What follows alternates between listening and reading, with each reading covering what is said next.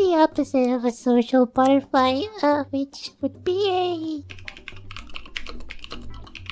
a reclusive moth. I'm severely socially inept. My Arcana undoubtedly is a hermit. I'm so comically shy. Every time I cross across absolutely any other human being, I'll instinctively run away and hide, which is pathetic.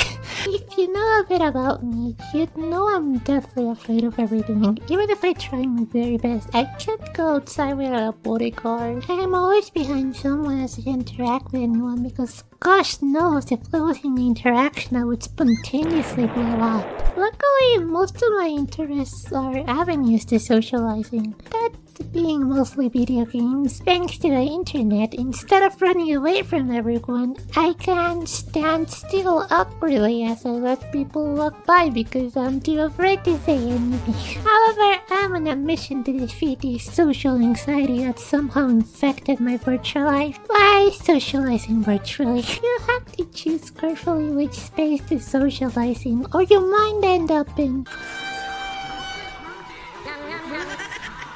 I decided to play it safe and I started my quest on the first place I ever socialized as a kid, Club Penguin. Club Penguin is a definition of a social MMO. You come to Club Penguin to hang out and waddle with other penguins. You can just come up to someone and say, Cool puffle, I have a blue one. What? I have a blue puffle too. Uh, so, with that in mind, I logged on to Club Penguin to make my first attempt at socializing. Tomorrow I have a colonoscopy and a fertility appointment. I got a colonoscopy too. Wanna be my friend? Colpo no Colono? Uh, that's cool. You know. Down there. Yeah, I know colonoscopies go down there. Just check on the web what colpo means. Okay. Molto per cosa lo stesso alfabeto con un aumento un si curte. What? Uh, what's colpo mean? Oh, sh! I hope it all turns out well. I want to die! I want to die! I want to die! What you doing? Um, I sure do love me some mining. Please, somebody, somebody please be my friend. Are you real? I'd like to think so. A million beverages. Give you a million beverages if you become my friend. Please, I'm on my knees. Please, pineapple penguin. One million beverages. I'm a friend. Let's go. so, um, I'm awkward.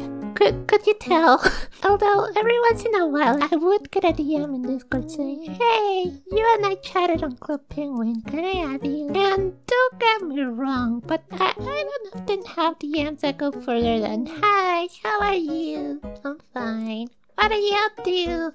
Nothing much. Any such cases. I like it when you're actually doing stuff between friends, like playing together, and conversations just come off naturally. Not just Pau comes in suddenly and now you have to witness incarnation of secondhand embarrassment as a pathetic loser girl. Which leads me to my next attempt at socializing I'm getting on a Minecraft SMP and become a victim of lucky circumstances. However, most interactions in my case go like this. Hi neighbor, would you happen to have some food you could give me? Oh sure, here's a stack of cookies on me. Wait, is that your real voice? Your voice, is it real? Um, this is it the voice I usually use?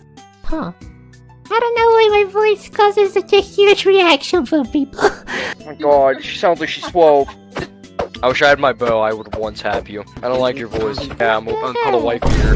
Take that. I didn't even need to get makeup friend. I went all the way to wife status. When I first started to play, I came across another player that helped me out and we had a lot of fun getting equipped in the early game. I had to go though and told me to keep our doggy safe, so I did. I built a fort to protect it and continued playing. The more the base got bigger, the more signs I would leave for my Minecraft buddy, expecting one day to return and see a bunch of messages left by me. But I waited and waited, but they never came back. And that seems to be the case for most Tamamos. Eh, Nothing you can do about it. If they ever come back, you'll find a giant statue built to commemorate them like some sort of god that gave birth to the land. I have to say, seeing how other people socialize made me realize I, I don't particularly like being social. Most of it is sensory overload and filled with tons of unexpected twists and turns. And it's okay, as not everyone will understand that you have special needs. What makes friendships so worthwhile is that you can trust in one another, which admittedly takes longer than just a few awkward Club Penguin chats.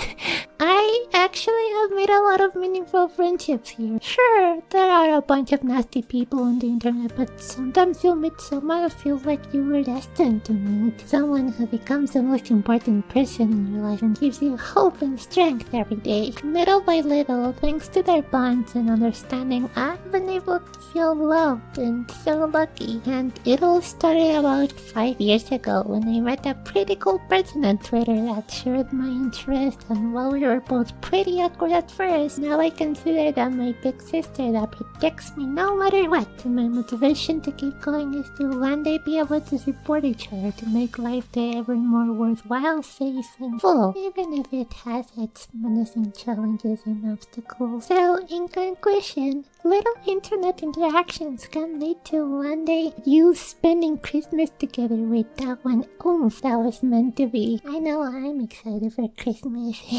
Thanks for watching, Sleepyheads. Stay cozy and never give up on finding friends. There will always be someone there for you. You are never alone. Good nighty!